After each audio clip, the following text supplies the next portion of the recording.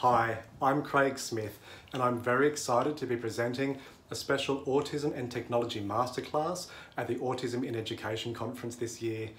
I've been a classroom teacher in a school for children with autism for over 13 years and I've dedicated a lot of time to understanding the way that a range of technologies can best support not only the academic outcomes of our students, but also the social, emotional and personal development goals of our kids as well.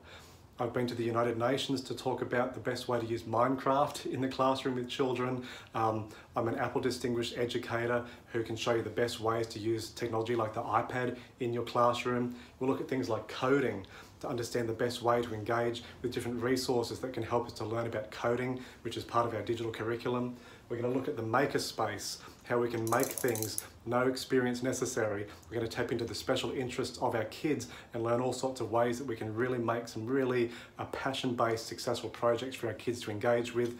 I've just got so much that I want to show you. Uh, I can't wait uh, to see you at the Autism and Technology Masterclass at the Autism in Education conference soon. I look forward to seeing you there.